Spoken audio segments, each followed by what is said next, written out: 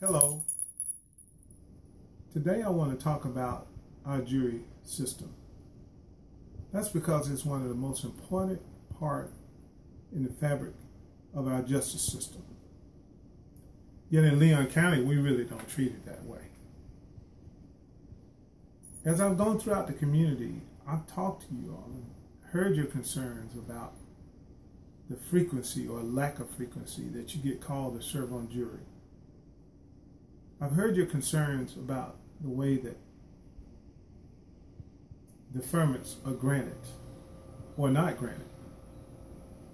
And I've also heard your concerns about the access that you have to the courthouse, in particular, the parking that's being provided to the jurors. Find it interesting.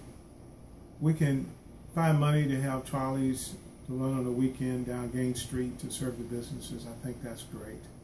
We can find money to run trolleys during the legislative session.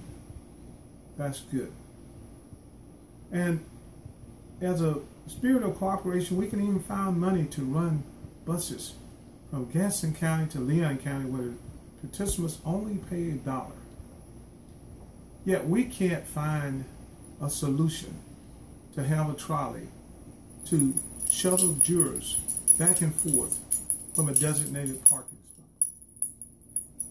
I promise you, if I'm an elected clerk, Bill Bogan, or clerk of the circuit court and comptroller, we will address this matter. Thank you so much and have a great day.